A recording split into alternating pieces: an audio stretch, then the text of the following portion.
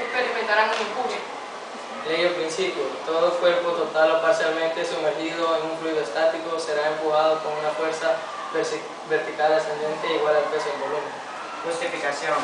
En el presente trabajo demostraremos el principio de Arquímedes, que estimulará el interés que nos sirva para que, que nos sirva que nos sirva para, para tener mayor información del experimento.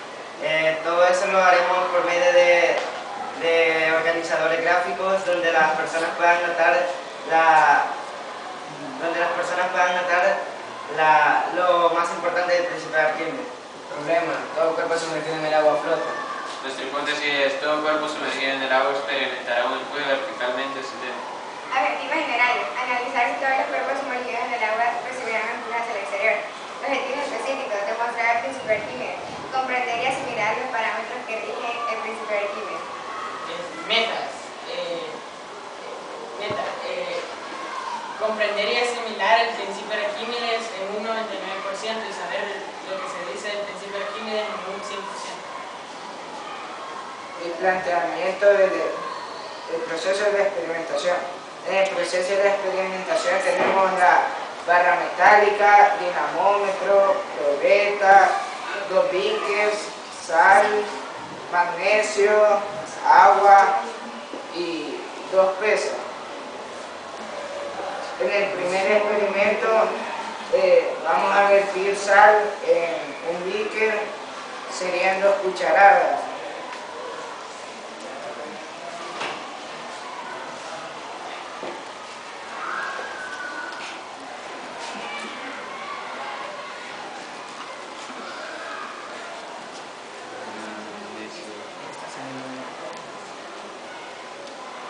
en el, en el segundo se va, el agua se va a quedar completamente destilada. En el primero vamos a vertir una cucharada de magnesio.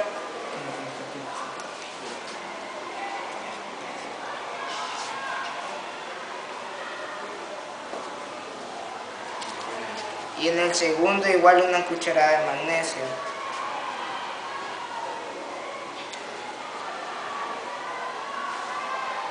Como podemos ver, el magnesio se ha quedado en la parte de abajo porque la densidad del magnesio es mayor a la que tiene el agua salada y aquí es mayor a la que tiene el agua destilada. Y en el segundo, eh, en, este, en estos dos se comprueba la fórmula que plantea Arquímedes, que, que dice que eh, la, la densidad que tiene el objeto, si es mayor, su, su peso se va a quedar abajo del- de la densidad que tiene el segundo cuerpo.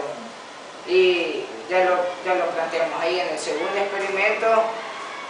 Con, e- con esta pesa la vamos a medir en newtons. Como podemos ver, pesa 0.5 newtons. Esa pesa la vamos a vertir en esta probeta que tiene 45 ml. Cuando lo vertemos vamos a ver que el- la pesa ha disminuido a 0.4 newtons y ha aumentado a 50, a 50 ml. Eso es porque el empuje se ha dado, el empuje que ha aumentado de nivel se ha dado porque el espacio que estaba ocupando aquí abajo es el mismo que ha aumentado.